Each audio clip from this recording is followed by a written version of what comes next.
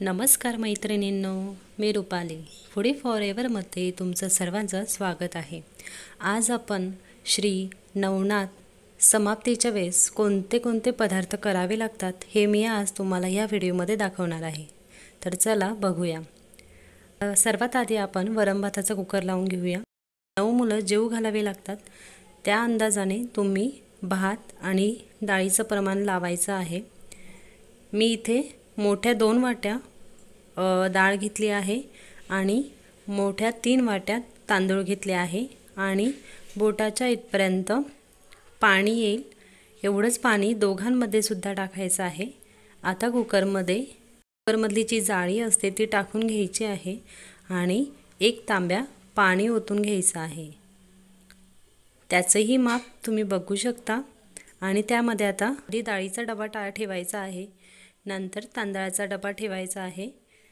तांदळाच्या याच्यामध्ये चवीनुसार मीठ टाकून घ्यायचं आणि हलवून घ्यायचं.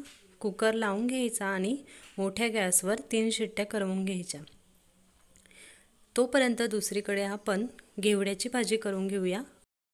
कढई तापल्यानंतर त्यामध्ये दोन चमचे तेल टाकून एक चमचा जिरं एक चमचा मोहरी टाकायची आहे.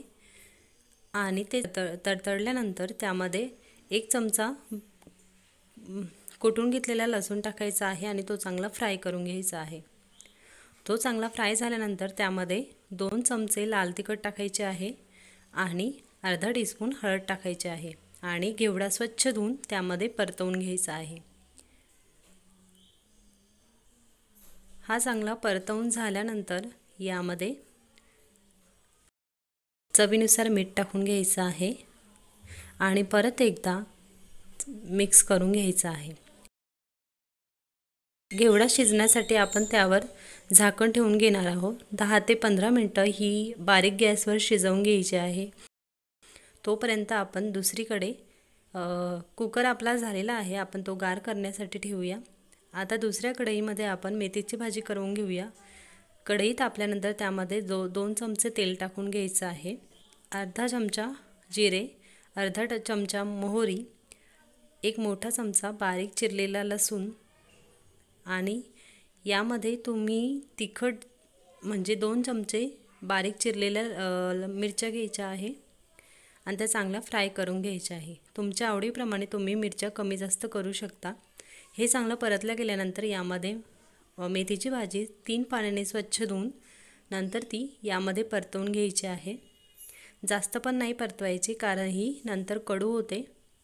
हलक्या हाताने परतवून घ्यायचे आहे जेणेकरून ते तेल सर्व भाजीला लागेल.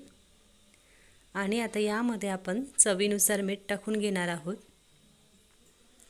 मेथीच्या भाजीला थोडं कमीच मीठ टाकायचं कारण की ती शिजल्यावर थोडी कमी होते त्यामुळे मीठ थोडं कमीच टाकायचं.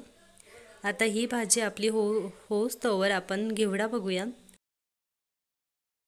घेवडा आता आपला झाला आहे गॅस बंद करून घ्यायचा आहे. इकडे मेथीची भाजी पण झाली आहे. तुम्ही बघू शकता.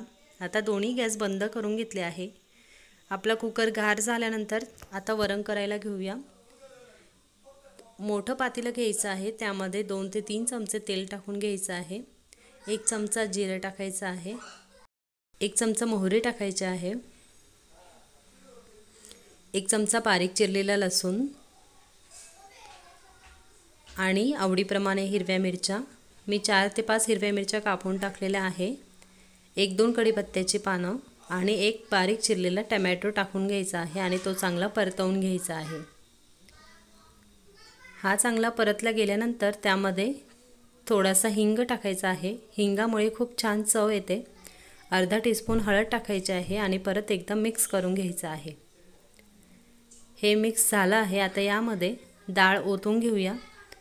डाळीमध्ये आवश्यकतेनुसार पाणी टाकून घ्यायचं आहे.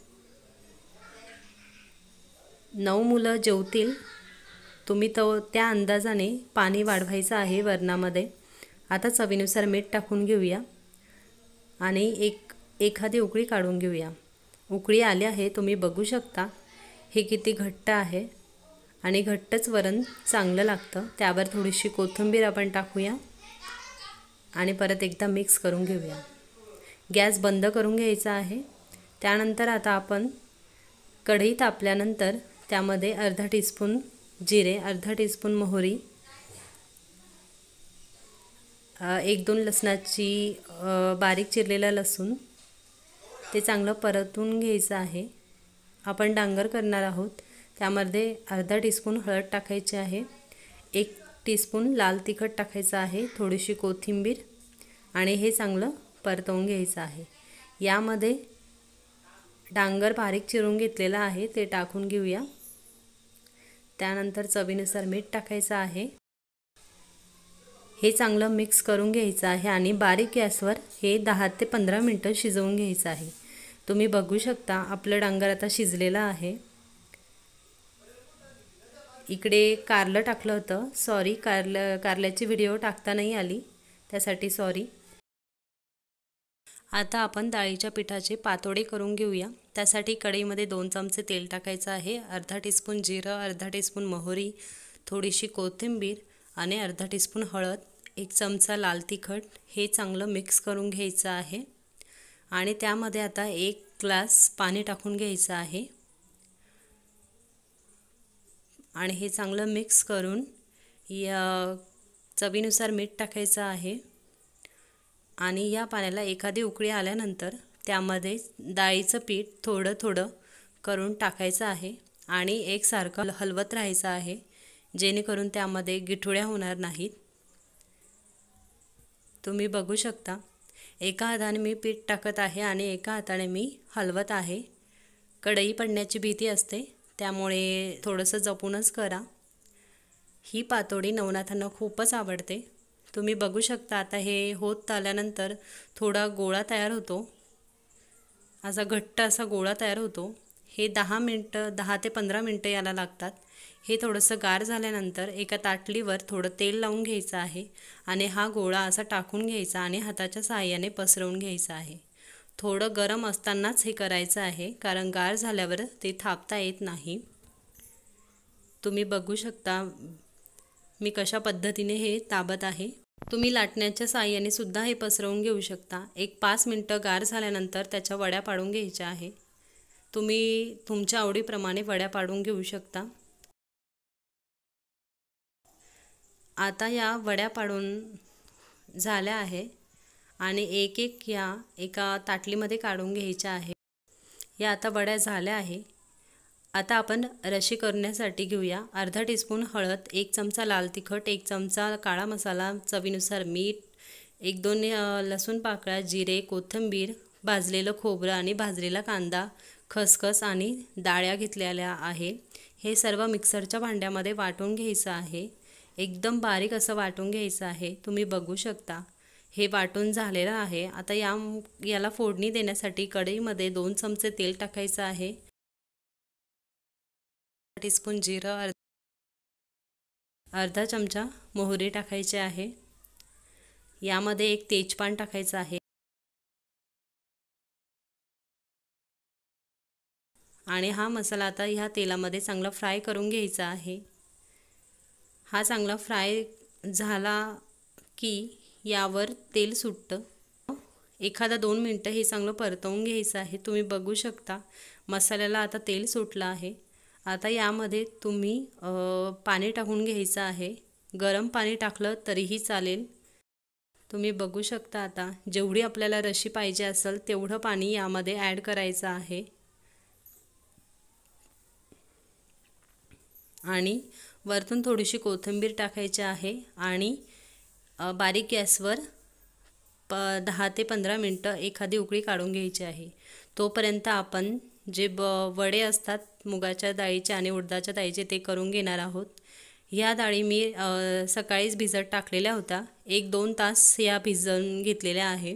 त्यामधलं सर्व पाणी निथळून घ्यायचं आहे आणि मिक्सरच्या भांड्यामध्ये एक बारीक असं वाटून घ्यायचं आहे. तुम्ही बघू शकता हे असं वाटून घ्यायचं आहे. त्यामध्ये टाकण्यासाठी मिक्सरच्या भांड्यामध्ये चार ते पाच हिरव्या मिरच्या आणि लसूण पाकळ्या एक चमचा जिरं टाकायचं आहे आणि हे सर मिक्सरमध्ये वाटून घ्यायचं आहे. हे बघू शकता तुम्ही थोडी कोथिंबीर अर्धा टीस्पून हळद थोडंसं मीठ आणि लसूण हिरव्या मिरच्या आणि जिरे हे दळून घेतलेलं आहे. आता हे सर्व आपण ह्या डाळ्यां ज्या डाळी वाटून घेतलेल्या आहेत त्यामध्ये मिक्स करून घेऊया.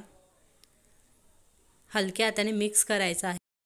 आणि हे दळून झाल्यानंतर लगेच करायला घ्यायचं. जर तुमच्याकडं मशीन असेल तर काहीच प्रॉब्लेम नाही. पण मशीन नसेल तर तुम्ही प्लॅस्टिकच्या पिशवीमध्ये हे सारण ओतून घ्यायचं आणि खालच्या याच्या कापून घ्यायचं जेणेकरून आपल्याला हा वडा तयार करता येईल. आणि उचटणीवर थोडं तेल लावून हा वडा टाकून घ्यायचा आहे आणि हलक्या हाताने तेलामध्ये सोडायचा आहे. तुम्ही बघू शकता या प्लॅस्टिकच्या पिशवीने तुम्ही एकदम छान करू शकतात. कोणाला वाटणारसुद्धा नाही की हे प्लॅस्टिकच्या पिशवी पिशवीपासून बनवलेले आहे. आणि हे चांगले असे तळून घ्यायचे आहे मंदाचेवर. हे बघू शकता आता हे झाले आहे. आपण बाकीचे पण तळून घेऊया. आणि हे नवनाथांना खूपच आवडतात. आता हे सर्व झाले आहे तुम्ही बघू शकता एकदम गोलाकार आणि एकदम असे मस्त झालेले आहे. आता आपण प्रसादाचा शिरा करून घेणार आहोत. सव्वा पावशेर रवा घेतलेला आहे. तो गावठी तुपामध्ये चांगला भाजून घ्यायचा आहे. एकदम लालसर म्हणजे थोडा असा वास येऊस्तवर हा रवा चांगला भाजून घ्यायचा आहे. तो भाजल्यानंतर त्याच कढईमध्ये थोडंसं तूप टाकून त्यामध्ये मनुके टाकून घ्यायचे आहे आणि ते फ्राय करून घ्यायचे आहे. तुम्ही बघू शकता मनुके लगेच फुगतात आणि यामध्ये थोडीशी चारोळी टाकायची आहे. आणि त्यामध्ये हा भाजलेला रवा टाकून घ्यायचा आहे आणि परत एकदा परतवून घ्यायचा आहे. तुपामध्ये चांगला परतला गेल्यानंतर रव प्रसाद खूप छान लागतो. यामध्ये आता गरम पाणी ओतून घ्यायचं आहे. शिरा नेहमी करताना गरम पाणीच टाकावे. कारण मग रवा चांगला फुगतो आणि चवदारही लागतो. आणि हे पटापट हलवायचं आहे. गिठोळ्या होऊ द्यायच्या नाही आहे आणि परत एकदा मिक्स करून घ्यायचं आहे. यामध्ये थोडंसं चवीनुसार मीठ टाकायचं आहे. आणि सव्वा पावशर साखर टाकायची आहे. सव्वा पावशरचा आपण प्रसाद करणार आहोत. त्यामुळे सव्वा पावशर तूप सव्वा पावशर रवा आणि सव्वा पावशर साखर. हे सर्व आपण घेतलेलं आहे. या प्रमाणात जर शि प्रसाद केला तर खूपच छान होतो. तुम्ही पाण्याच्या ऐवजी तुम्ही दूधही वापरू शकता. आणि हा चांगला मिक्स करून घ्यायचा आहे. मिक्स झाल्यानंतर यामध्ये बदामाचे छोटे छोटे काप करून टाकायचे आहे. यामध्ये एक चमचा वेलची पूड साखर आणि वेलची जायफळ थोडंसं कोटून घेतलेलं आहे. त्याची पूड मी टाकलेली आहे. आणि हे चांगलं मिक्स करून घ्यायचं आहे. आणि एक दहा मिनटं हे बारीक गॅसवर झाकण ठेवून असंच ठेवायचं आहे. दहा मिनटं झाली आहे तुम्ही बघू शकता. रवा पण आपला झाला आहे तूप पण थोडं सुटलेलं आहे. त्यामुळे हा शिरा खूप छान लागतो आणि यावर आपण तुळशीचं पान टाकून घेणार आहोत. आता मी पूर्ण ताट वाढून घेतलेलं आहे. या ता ताटामध्ये एकूण तेरा पदार्थ आहेत. तुम्हाला मी दाखवून देते. रशे आहे कुरडई आहे पातोड्या आहे वडे आहे शिरा आहे मेथीची भाजी आहे डांगराची भाजी कारल्याची भाजी अळूवडी घेवड्याची भाजी पोळी. अळूची वडी बघण्यासाठी डिस्क्रिप्शन बॉक्समध्ये मी अळूची वडीची लिंक दिली आहे. तुम्ही त्यावर क्लिक करून अळूची वडी बघू शकता. कशी वाटली आजची रेसिपी ते मला कमेंट करून नक्की सांगा. अशाच चमचमीत आणि झणझणीत रेसिपीजसाठी फूडी फॉर एव्हरला सबस्क्राईब करा आणि त्याचबरोबर बेल आयकॉनवरही क्लिक करा.